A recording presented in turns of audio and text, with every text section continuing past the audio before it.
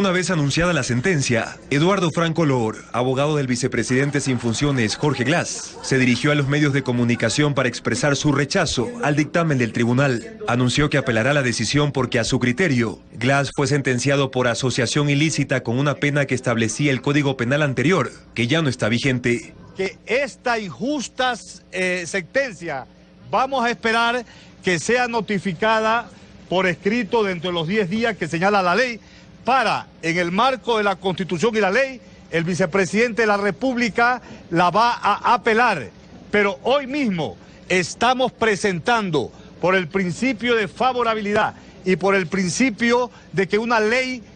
futura es la vigente, vamos a pedir la suspensión condicional de la ejecución de la pena. Mientras que Carlos Vaca Mancheno, fiscal general del Estado, quien durante la etapa de juicio pidió los seis años de prisión para Jorge Glass, su tío Ricardo Rivera y otros implicados en el delito de asociación ilícita, apoyó la decisión del tribunal y anunció que se han abierto nuevas investigaciones por el supuesto cometimiento de otros delitos. La decisión judicial además ha dispuesto que Fiscalía abra nuevas investigaciones sobre otras infracciones muchas de las